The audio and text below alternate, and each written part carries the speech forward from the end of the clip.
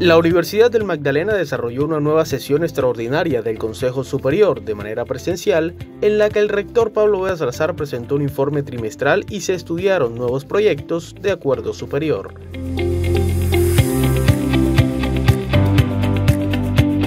Eh, se acaban de aprobar dos proyectos que son muy importantes para la vida de la Universidad del Magdalena. Demuestran el gran compromiso que tiene la Universidad del Magdalena con el desarrollo de toda la región Caribe y especialmente eh, acorde a la economía de la ciudad. Eh, de los puntos que más se resalta es eh, la alta incidencia en temas de acreditación, la visita de los pares de programas como ingeniería de sistemas, de los programas de hotelería y turismo. En la jornada se analizaron diferentes proyectos institucionales, entre los que se destacó la política de plurilingüismo y el programa de alfabetización y educación básica y media para adultos.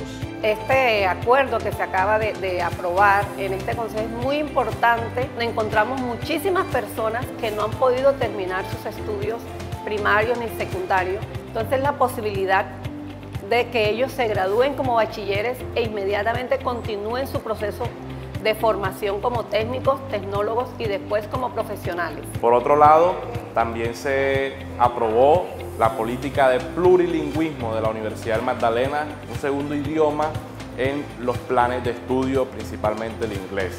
Esto era algo que los estudiantes de la Universidad Magdalena estaban pidiendo para cualificar mejor a nuestros estudiantes, nuestros compañeros de la Universidad Magdalena.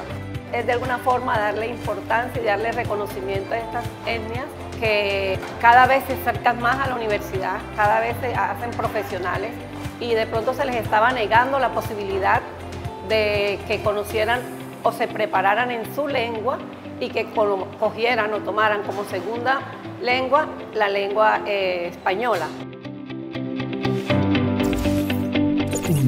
Universidad de Magdalena, aún más incluyente e innovadora.